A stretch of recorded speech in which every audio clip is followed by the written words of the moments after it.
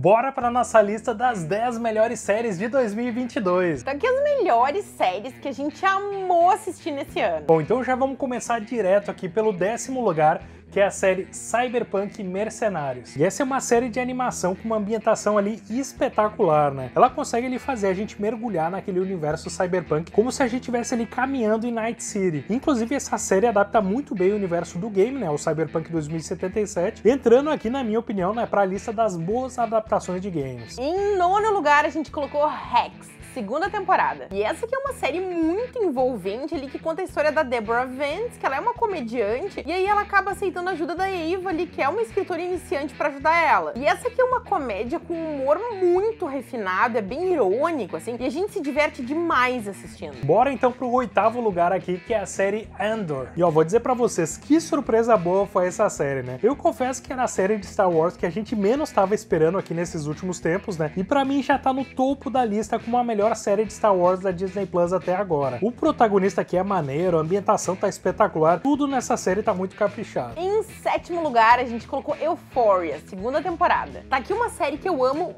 muito, assim, ela traz a adolescência de uma forma bem pesada e eu diria até bem adulta. Não tem ali como não se emocionar com a Ruby ali, com todos os personagens, a história é muito bem contada e assim, as atuações são incríveis. Em sexto lugar, a gente colocou Stranger Things, quarta temporada. E essa aqui é uma série muito boa ali. A quarta temporada foi um grande sucesso ali. O arco do Vecna ali foi um dos mais interessantes até agora. E mesmo a série tendo alguns personagens e alguns momentos mais bobinhos ali, no geral a temporada foi maravilhosa. Quinto lugar, então, na nossa lista das melhores séries do ano, a gente colocou Sandman. E eu vou dizer para vocês, né, trazer Neil Gaiman de uma forma bem acessível para o público geral foi brilhante, ainda mais se a gente considerar que os temas complexos que são abordados aqui na série, né? E olha, alguns dos episódios como aquele da morte, são espetaculares e mergulhar no mundo dos sonhos foi fantástico aqui com essa série. E antes de continuar esse vídeo, já se inscreve no canal e clica no sininho para não perder nenhum dos nossos vídeos. Se inscreva em todas as redes sociais.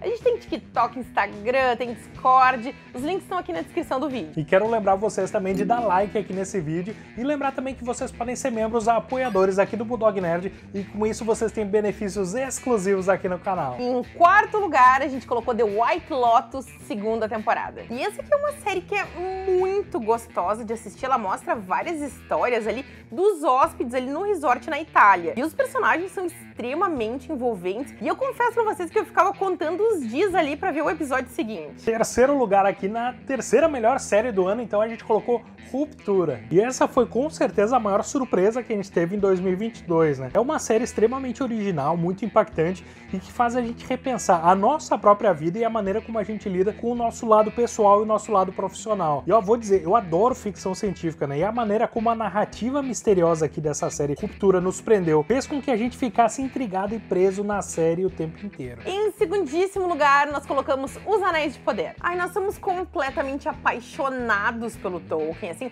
ver os trechos ali das histórias que antecedem a história do Senhor dos Anéis ali, com umas árvores de Valinor, um Morgoth e tudo mais, foi assim de cair o queixo. A série impactou demais aqui, tanto o visual, a riqueza no design ali das cenas, todo o figurino era muito lindo, bem acabado, as cidades eram cheias de figurantes, todo o material usado, assim, tu vê que é de primeira, orçamento alto. As atuações aqui também são incríveis, e mesmo tendo ali alguns arcos um pouquinho mais arrastados ali em alguns momentos, a série conquistou o nosso coração. E para quem quiser conferir, nós temos 10 vídeos aqui no canal mostrando ali as conexões dos livros com a série e abordando como o Anéis de Poder ali retratou a Segunda Era descrita ali pelo Tolkien. Em primeiríssimo lugar aqui a gente colocou como a melhor série desse ano, A Casa do Dragão. E tá aqui o nosso amor, né, de 2022. Que prazer, vou dizer para vocês assistir essa série, né? A gente chorou ali junto com alguns dos personagens, deu ali uns gritos de choque com algumas cenas. Nosso coração vibrou com essa temporada e ó, a história é extremamente bem contada. E mesmo tendo ali alguns saltos temporais mais abruptos, a gente amou demais. Ó, e a gente precisa falar do Perry Considine, que para mim protagonizou o